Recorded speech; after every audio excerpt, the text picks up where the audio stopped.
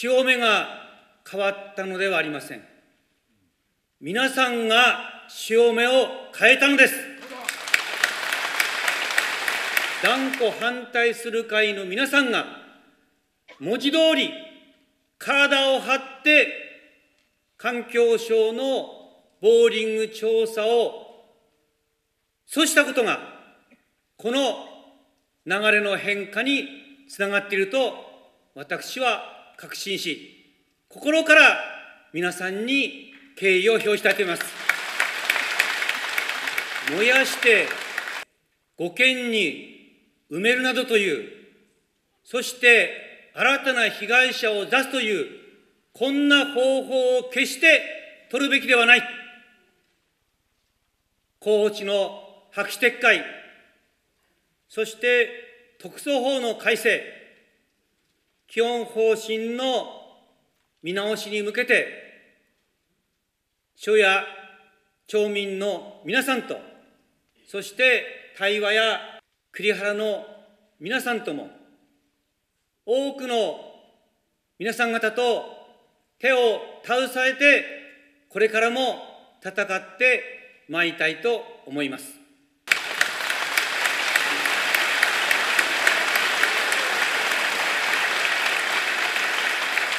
えー、できるだけ集中して、えー、拡散をさせない、そういうね、処分の方法を考えるべきだということを、今、あ県、国の方に要望しております。処分については、福島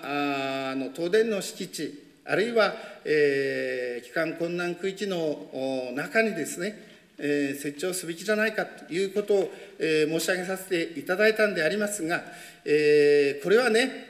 単に合憲がダメだからそこへ持ってってくださいということではないんですね。その先ほど私が言いましたように19万人の人たちに一日も早くね生活再スタートを切れるそういう何て言うんですかね、えー、環境を整えてやる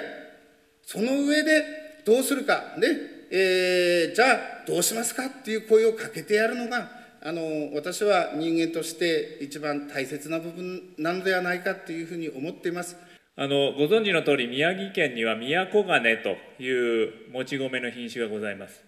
でこれはあの米価あられおかきの中ではですね最高級のあの品種です。えこれはですねあのこう地元だけの問題ではないえ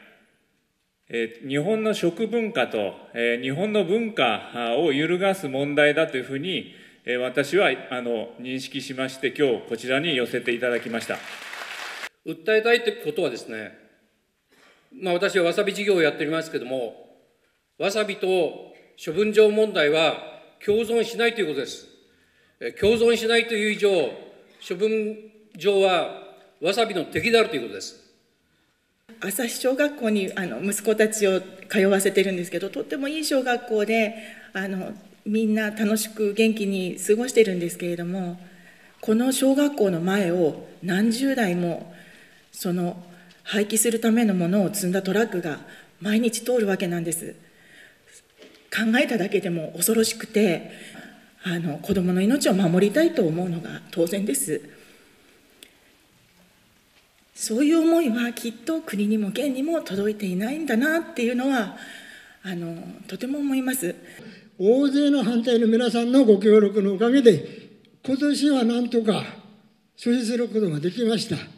また雪解きとともにそういう戦いがやってくるかと思います。一つ今後ともよろしくご協力の方お願い申し上げます。